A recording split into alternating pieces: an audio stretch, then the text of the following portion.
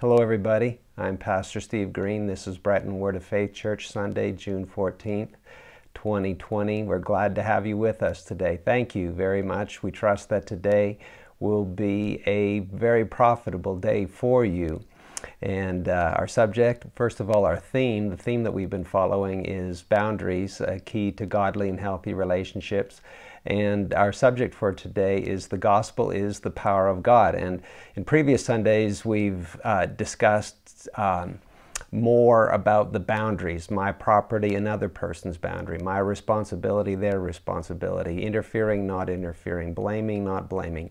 Today, not so much about those things. It's going to be more about focusing directly in on my territory, not so much concerned about the neighboring territory, but just focusing on what it is that God has given to me to do, what He's given to you to do, what our responsibilities are. Where we left off last week, we were talking about how in each verse of the New Testament, literally Matthew, Mark, Luke, John, Acts, Romans, all the way through to Revelation, each book of the New Testament emphasizes that there is one basic responsibility that you and I have. Not only do we have that one basic responsibility, but if we'll do it, then we are assured, we are promised by God that things will go well for us. We will love life and see good days. And that one responsibility is that we would love one another. And that love is a supernatural kind of love. It's empowered, it's empowered by the dunamis power of God. It's not natural. It's not natural love. There are many examples of natural love around us and not taking away from that, but this is something different, something higher. It is supernatural love. It is, uh, as we said, empowered love. It is, it's empowered through faith. Uh, and it is something that is what God is. It's how He loves. And if we'll do that one thing, if we'll learn how to yield to the Holy Spirit, yield, have faith, do it as God would have us do it, then we will be assured of a good result. We will have our responsibility. We'll be fulfilling our responsibility. We'll see results now and in eternity. We'll hear the words, Well done thou good and faithful servant. So this is the focal point. This is what we're doing. And we were looking at several, last week as we finished, we were looking at several different books of the New Testament, just seeing briefly in each one, not certainly not all 27, but we were looking at a few, at how this message was in the New Testament books. Now today what we're going to do is continue to focus in on our responsibility because again, if that's all we know, if it's all we do, we may not even be that aware of boundaries. I think it's good to be aware of boundaries, but even if we're not, if all we're doing is focusing on what falls within our boundary, uh, then uh, we're going to be successful. Uh, thank the Lord. Praise God. And so, uh, today we're going to look at Romans, and in particular, uh, what Paul teaches in Romans about this subject, and we'll see it in more detail. Uh, instead of looking across several books, we'll be going into more detail in one book, and I'll need your attention. I'll need you to focus because we're going to be following a series of steps. It'll be like climbing a stairway, one step after another, and each step is important to understanding the whole.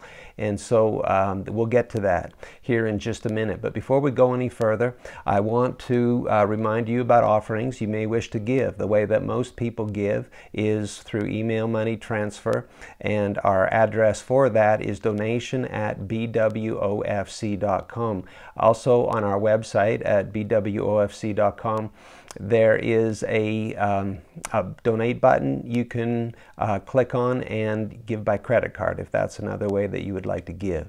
Uh, also, we want to remind everybody about our refresh messages. Those are usually three times a week Tuesday, Thursday, Saturday. They're about five minutes each, and what they are is refreshing a key point from Sunday's message to help uh, keep it top of mind so that we can do it and obtain the benefit of doing it. Uh, we want you, uh, if you wish, to subscribe to our YouTube channel. Thank you uh, to that. We want to a special thank you to those that are uh, subscribers. Thank we we appreciate it, and uh, we'd like you to like us on our Facebook page and to share this broadcast on Facebook. And for those that are wishing to be physically present, which we think is an improvement, they say absence makes the heart grow fonder. But uh, as one person said, presence is an improvement. And we, we thank you for joining us uh, online on YouTube. And if you can be with us, again, that is even better. And here's some of the things that we're doing uh, we're disinfecting uh, commonly touched purposes. We have hand sanitizer, we have face masks uh, if you wish. Uh, we ask a couple of things is that everybody observe physical distancing. And also, if anybody's not feeling well, we would love to have you with us, but please uh, enjoy the broadcast at home until you're feeling better. All right. Uh, let's pray for a moment. Father, in the name of Jesus, we ask for a spirit of wisdom and revelation in the knowledge of you, the eyes of our hearts being flooded with light. Lord, we thank you for your word. I ask that your word would be plain and clear. I ask that you would help me to speak plainly and clearly and boldly as I ought to. And we thank you for that in Jesus' name. Amen. All right, Romans chapter 1 and verse 5. Here's a hint of what's to come. He says in verse 5 Through him we have received grace and apostleship for obedience to the faith among all nations for his name. So this is among all nations, which means all ethnic groups. And the objective is obedience to the faith. So again, that's just a little hint of what's to come. Starting in chapter 1 in verse 16. Let's read a couple of verses, and this will expand upon that thought we saw in verse 5. For I'm not ashamed of the gospel of Christ, for it is the power of God to salvation for everyone who believes, for the Jew first, and also for the Greek. For in it, in the gospel, the righteousness of God is revealed from faith to faith, as it is written, the just shall live by faith. Now remember, we're talking about uh, our basic responsibility in the gospel, uh, our basic responsibility in relationships with other people. We're, we're still talking about boundaries. Now, sometimes in a sentence, or in this case, two sentences, uh, the last thought is in re, uh, is is. let me say that again. the the last thought is the first reality in time. Let me give an example. Say uh, someone was to say to me, We're going to spend a few days at the beach. You know, it's June here now and summertime, and it's the type of thing that people may have in mind. Uh, and then I was to respond, Well, that sounds like fun. What beach? And they would say such, such and such a beach, whichever place it was, and I might say, well, that's a bit of a longer drive. Why that beach? And then they might respond, our family has had a beach house there for years. So that's the short conversation that we're using as an example. Now, what I want to point out, though, is the last thought in this conversation. We've had a beach house there for years. The last thought is the first thought in time. It's not the first thought in the conversation, but in time it is because they've had the beach house for years. That's what came first. So the number one is owning the beach house. Number two is therefore choosing to go to the beach where they own the beach house.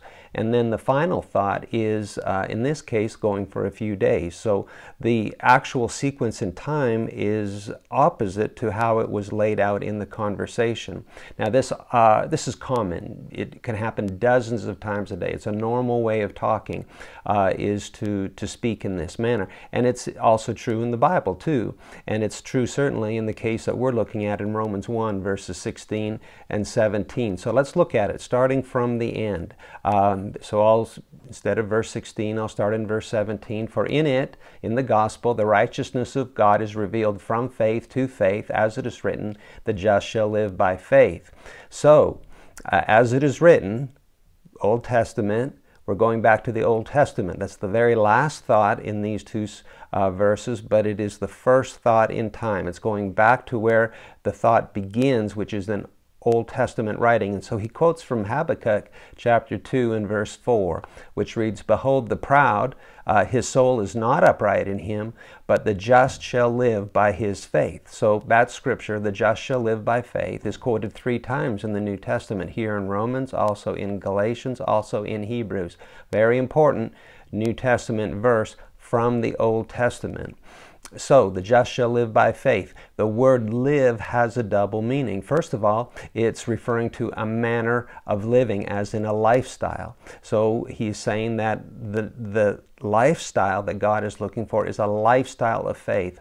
Moment by moment, hour by hour, day by day, we're conscious of what's happening around us, what God's will is, what it, how we respond to certain circumstances, what we're to do, how we do it by faith. So he's referring to faith as a lifestyle. The just shall live by faith. The second meaning of the word live is uh, referring to quality, uh, as in the abundant life. Jesus said, The thief does not come except uh, to steal and to kill and to destroy. He said, But I have come that you may have life and that, that they may have life and that they may have it more abundantly. Jesus is the author of life. It's a quality of life. It's, as he says, it's an abundant life. And so these thoughts are contained in this short little phrase from the Old Testament the, the just shall live, there will be a lifestyle of faith, and the just shall have an abundance of life because they're living by faith. Now, the word faith also has a double application. As Paul goes on to describe in the book of Romans, the only way that you and I or anyone can become just or justified or made righteous is by faith. There is no other way to do it. And so when he says the just shall live by faith, he's when he just says the word just, that that already indicates to us faith the person who's justified by faith. But then the person who's been justified by faith shall also live by faith. And so now um, faith is referring to the justification in the first place, but it's also referring to the lifestyle that follows. So, uh, continuing then, uh, in verse 17. We're backing up. We're starting from the end and going to the beginning because that is this uh, sequence in time. That's how we're best going to understand this passage. So, as it also says in chapter 1 and verse 17, we go from faith to faith. Now, we've already uh, mentioned that. Faith to faith, the initial faith is the faith that justifies us, and then the faith that we uh, continue with is the faith that we live by. It's our lifestyle. It's the faith that sanctifies us. So we're initially justified and then we continue uh, to be sanctified afterward. To be justified means to be made righteous. So by faith we are made righteous positionally. That's the first faith. We're going from faith to faith. So the first faith is when we're saved, when we're born again, when our sins are forgiven, when we're welcomed into the family of God. Um, that's the first faith. And, and the Bible calls that justification, being made right. And it's a positional uh, uh, thing. We have a position with God. We have a position with God as having never sinned. We have a position with God of uh, being righteous. We have a gift of righteousness that comes from Jesus. Jesus uh, is our substitute. He took what belonged to us, which is all of our sin, in order to give us what belonged to Him, which is righteousness. So it's a gift. So that is the first faith. The second faith uh, is functional righteousness, meaning it's not a position now, it's not a gift. We've already been given those things, um, but it's now a way of living, it's a lifestyle, it's a function. Uh, so this is righteousness. Uh, this is the second kind of righteousness. So the lifestyle of faith produces righteous living, uh, which produces the abundant life. That this is a truth, Old Testament and New, that, that if we can simply be righteous and do righteous things, then there will be a reward, a blessing, a consequence to that. Uh, the abundant life, as we've said. Uh, the, we, the reason why right is right in the Bible is because it works. God is not asking us to do right things and somehow He has a definition of right things that don't work. You, just naturally speaking, the right thing to do is the thing that works. And that's true also spiritually. The reason why the right things are the right things is they produce the right spiritual results.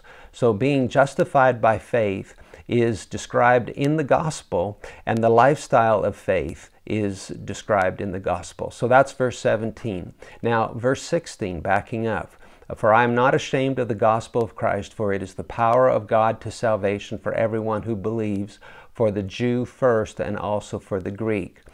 So the gospel is to the Jew first because they were the people of God in, in, a, in an historic sense. They were the historic people of God, and it wouldn't be right for them to have been the initial covenant people of God and then now to not tell them about the, this person Jesus who's been prophesied uh, throughout their history, uh, to not tell them first. So the gospel is to the Jew first and also to the Gentile. And it works equally, as we'll see in just a moment, it works equally for Jews and Gentiles. Belief is the essential ingredient for the gospel to work. The just shall live by faith. Uh, so salvation, now we're, we're talking about verse 16. Salvation is for everyone who believes. Um, any any human being, any man, woman, and child who will believe, who will choose to believe, uh, has access to the gospel. It works for all of us. So salvation is for everyone who believes, just as there are two stages of faith. We go from faith to faith. There are two stages of salvation because faith produces, or belief produces salvation. Uh, the first is uh, the first salvation is positional righteousness. We spoke about that. That's a result of faith. And then the second salvation is functional righteousness. By, by positional righteousness, we're saved. We're, we're made to be Christians where our sins are forgiven.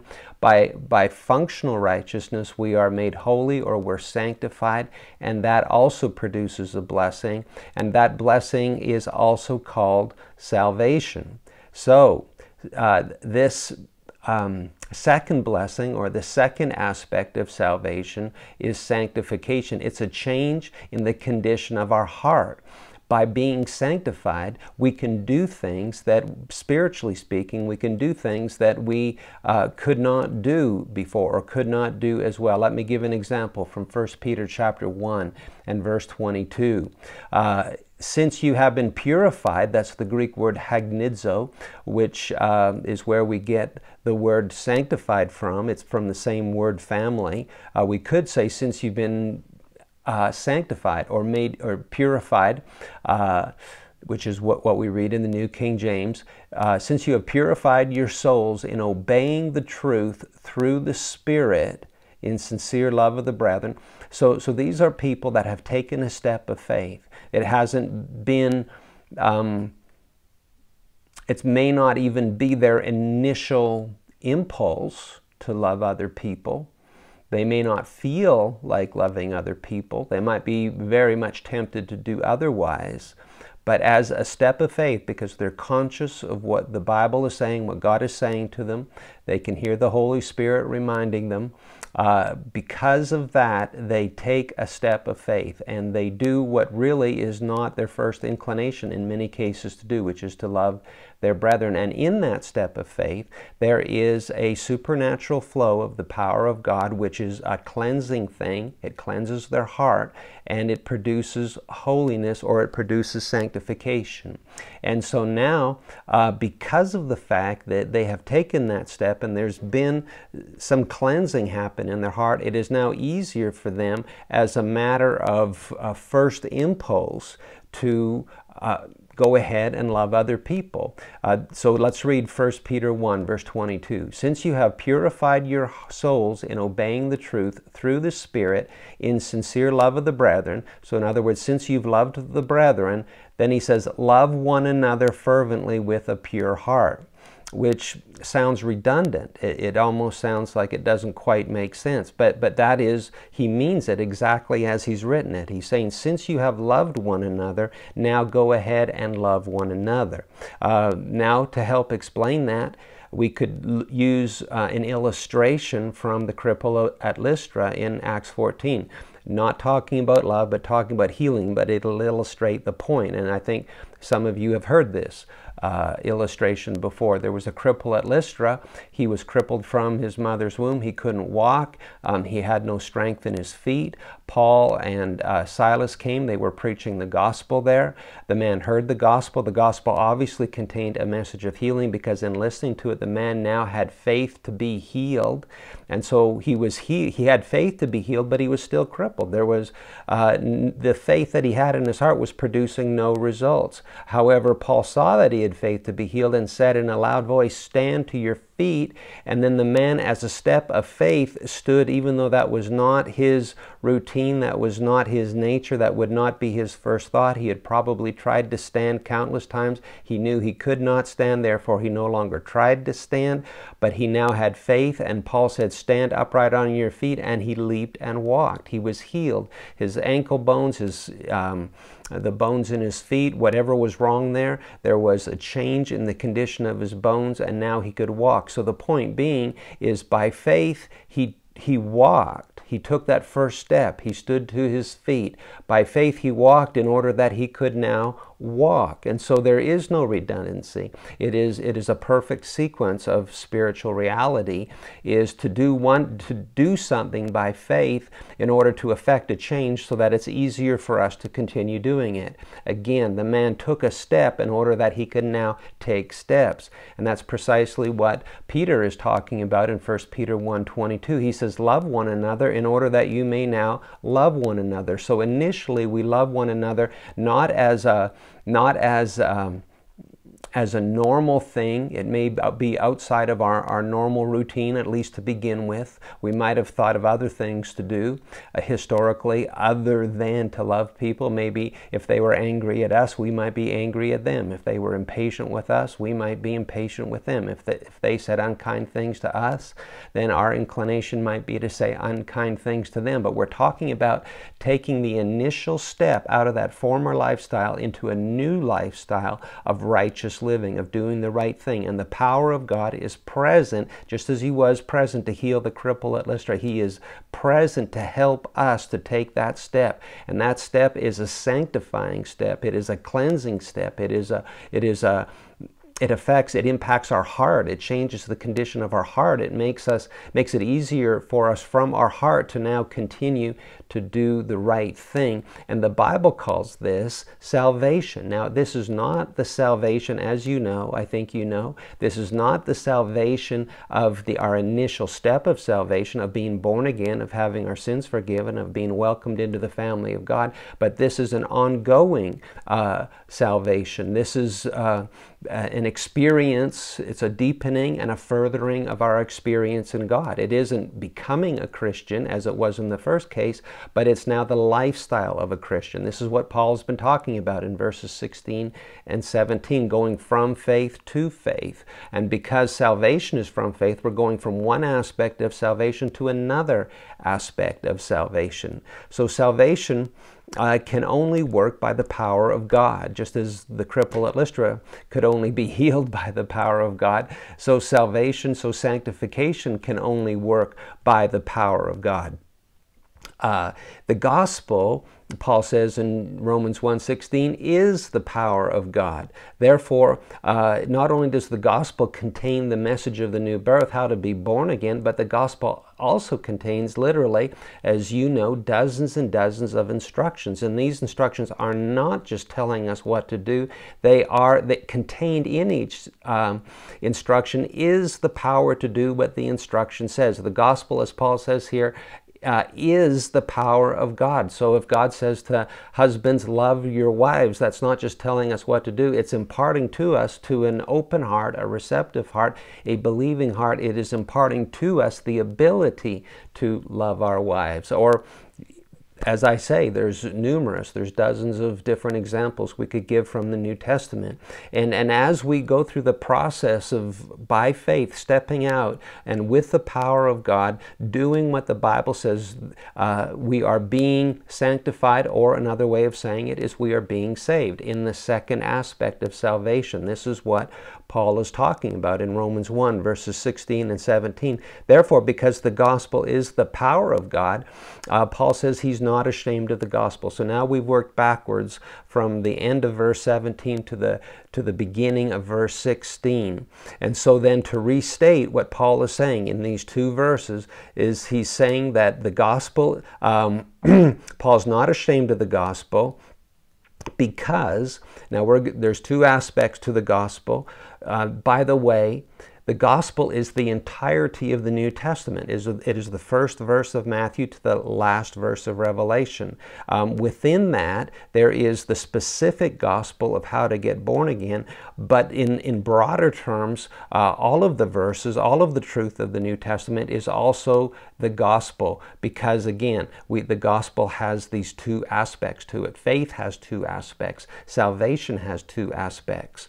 And so, uh, so just um, for the sake of time right now, focusing in on the second aspect. So, this is in addition to the new birth. Paul is not ashamed of the gospel of Christ because when it is believed, it is the power of God. It's the power of God that produces righteous living in us, that produces the abundant life in us, which is also called salvation praise God. So, so already here we are just in Romans chapter 1, verses 16 and 17, and we've uh, already Paul has announced what his entire letter is about. Not just what his entire letter is about, but what the entire New Testament is about. This is this is the gospel. This is the power of God. This is salvation.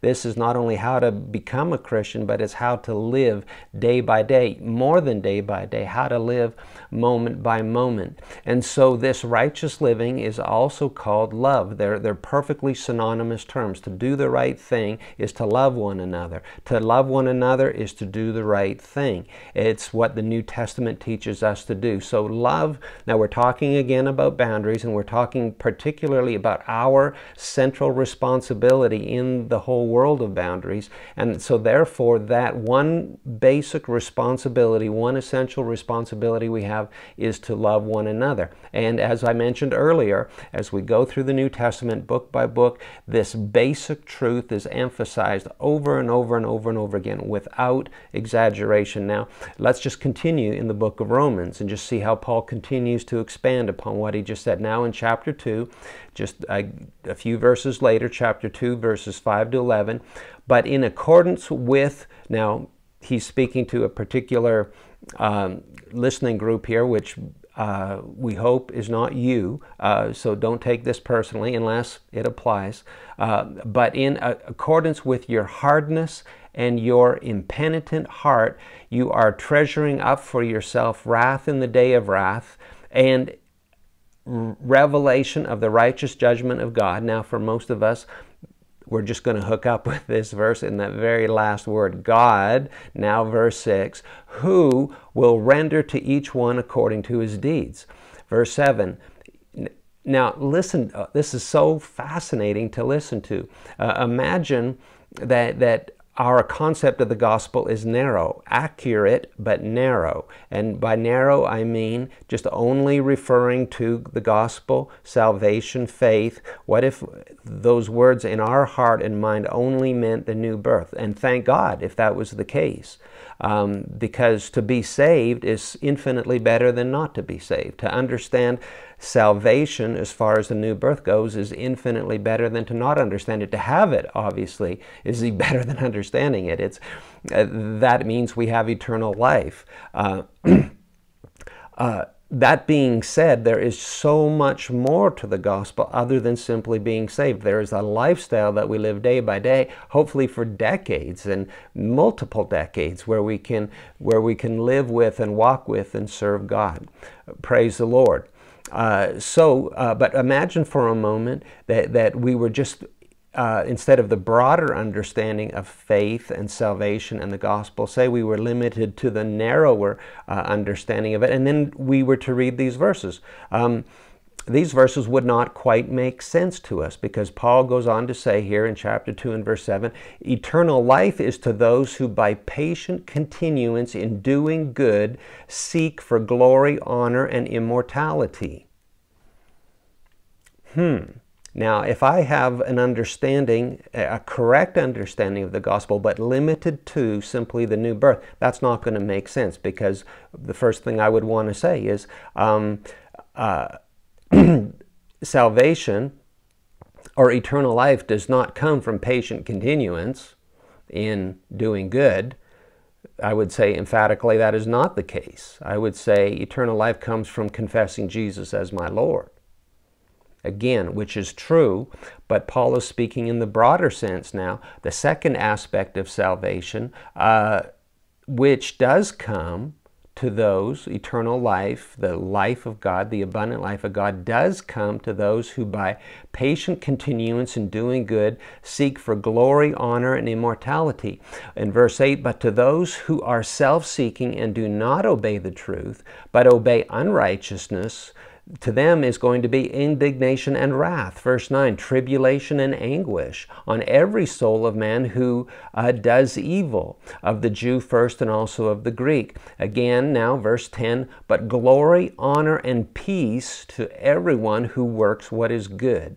This is, we're talking about eternal life. We're talking about an aspect of eternal life. We're talking about an aspect of salvation. This is what faith does. This is the gospel, the broader aspect of the gospel. I trust that I've been clear, that you understand perfectly what I'm talking about. Um, continuing in verse 10, to the Jew first and also to the Greek, for there is no partiality with God between Gentile and, and Jew. There is no distinction in God's eyes now.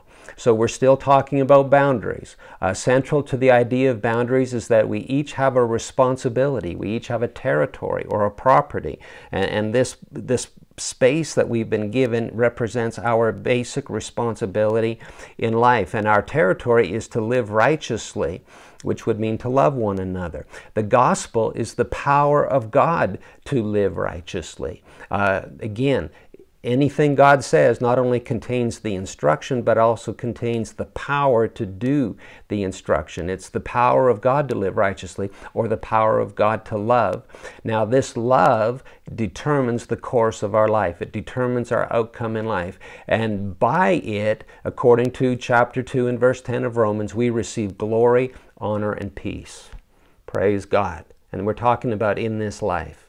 In eternity, certainly, but also in this life. This is part of what uh, abundant life is. It's part of what salvation is, is we receive glory, honor, and peace. And how does it come? It comes by living righteously. Let's continue in Romans. We'll just look at three more verses, three more uh, short passages and it'll be about Paul just taking this thought that he's started in chapter 1 and seeing how he repeats it uh, throughout the book of Romans. So we've looked in chapter 1, chapter 2. We'll look in chapter 6, verses 22 to 23. But now, having been set free from sin, this is, we've already been saved. We've already, um, already been made righteous. So now we're going on, we're going from faith to faith, like Paul said. We're going on to the second aspect of faith, second aspect of salvation. Uh, having been set free from sin and having become slaves of God, you have your fruit to holiness. Clearly, it's speaking about our lifestyle. And the end, everlasting life. And so, life, again, is being described in terms as a consequence of the right lifestyle. Verse 23 For the wages of sin is death, but the gift of God is eternal life in Christ Jesus our Lord. So again, we're talking about eternal life. That's Romans 6, Romans 8, and verse 13.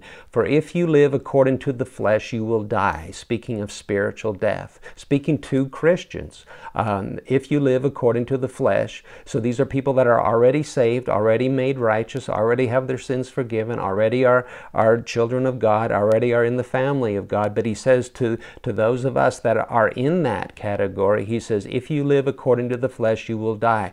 But if by the Spirit, so again, the, the gospel is the power of God, by the Spirit you put to death the deeds of the body, you will live. Again, speaking about um, the life of God, the abundant life of God, the eternal life of God, which, by the way, isn't just for after we die, but eternal life kicks in the moment we're saved. So, in this present life, although this present life, living in these mortal bodies, is not eternal, we still can enjoy eternal life while living in these mortal bodies. That life will continue on into eternity. He says, But if you, by the Spirit, you put to death the deeds of the body, you will live. And then finally, in Romans 12, verses 1 to 2, I beseech you, therefore, brethren, by the mercies of God, that you present your bodies a living sacrifice, holy, acceptable to God, which is your reasonable service. Normally, it wouldn't be reasonable to ask somebody to give so much, to, to sacrifice ourselves, to make our bodies a living sacrifice. Um, that, that is asking for everything that we have. However, God has given us everything He has. Jesus has died on the cross for us. He has His own Son uh, has died as a substitute for us uh, and paid the price for us in order that we could have eternal life. This is the nature of blood covenant. Is it's a, it's like a marriage. It, ideally, in a marriage, everything that belongs to the husband belongs to the wife, and everything everything that belongs to the wife belongs to the husband. Each one gives themselves wholly to the other. And so this is now a reasonable sacrifice for us to make, doubly so because of the benefit that we receive from doing it. We receive salvation or abundant life, salvation in the second aspect of what we mean by salvation. Verse 2 And do not be conformed to this world, but be transformed by the renewing of your mind.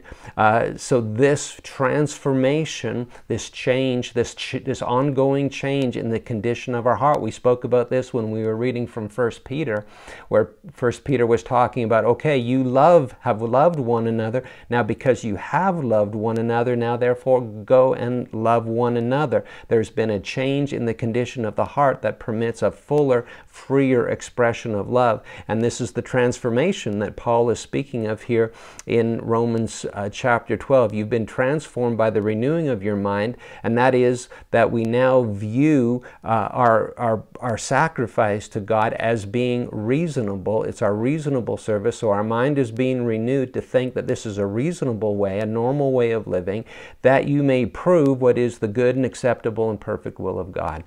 And so, again, uh, uh, that's going to be God's perfect will for us, not just in eternity, but for in this life. Earlier, we read about how we receive glory, honor, and peace. And that is part of His good acceptable, His perfect will for us is to enjoy these things. So we're talking about boundaries. In particular, we're talking about identifying what falls to us, what falls within our boundary lines. The boundary lines have fallen in pleasant places, it says in the Old Testament for us. We've got a good responsibility. We've been enabled, we've been empowered through the gospel to perform that responsibility. That is just the one thing. So if there's one thing that we can take away from our message today, same thing that we wanted you to take away last week, it is this. It is, is that there's a simplicity to the gospel that that it all distills down, it all boils down to one key thought. That key thought is repeated multitudes of times from beginning to end of the New Testament is that God is asking us to trust Him, to believe Him. The gospel is the power of God to those who believe, that we would believe in His word, believe in His instructions, that we would do it, that we would be righteous, we would live righteously, not just have the gift of righteousness, but then live righteously, that we would love one another, and that we would have the many benefits that come from it. Not only do we enjoy benefits, but it also makes us effective ministers because that is the basis of ministry. Paul says to the Galatians in chapter 5 by love serve one another, or by love minister to one another. Be ministers. We're all called to be ministers in that sense. And so our ministry, there's two things that happen when we uh, walk in love is we become effective ministers, we become disciples, we're makers of disciples, we're uh, we're fulfilling the Great Commission. We're doing what God asked us to do. We're living powerful lives, fruitful lives, and then also we're being blessed um, in our efforts. Praise God. So, again, we trust that this has been a, a, fruitful time, a useful time, a time well spent for you. Again, I want to thank you for joining us today. We, we are blessed that you're with us. You're part of this community that is growing in the personality and the character of Jesus Christ. You're part of God's army around the world that is doing His will, and you're demonstrating uh, His blessing and His benefit in so doing. Uh, Father, let me pray for you, Father, in the name of Jesus. I pray for everybody under the sound of my voice right now that you would uh, speak to us. If there's anybody here that has yet to become a Christian, who's yet to take that first step of faith, who's yet to become righteous as a gift, um, I pray that you would just uh, uh, compel them in their heart right now that, that now is the time. If that's you, if, if that is you, that you've, you've, this is the first time you've heard this message or you've never acted on this message before, just say after me, say right out loud. And, and this, is, this is where, just so you know in advance, before we pray, what this is about is when you say these words and you say them from your heart, it means you're going to step into righteousness as a gift, where what Jesus, the lifestyle he lived, the, the value of that is given to you as a gift, as if you never sinned. Your sins will be forgiven, and you will be in a righteous position with God. Uh, if you would like that, and in fact, it's even beyond liking it, you may like it, but it's even beyond that. You need it. Uh, you need it for this life. You need it to be blessed in this life. You need it to enter into heaven in eternity. If you want that, please say after me, say, uh, say, Jesus, I believe in you. I believe God raised you from the dead. And you're alive right now. And I invite you to be my Lord. I invite you to be the Lord of my life. I will follow you.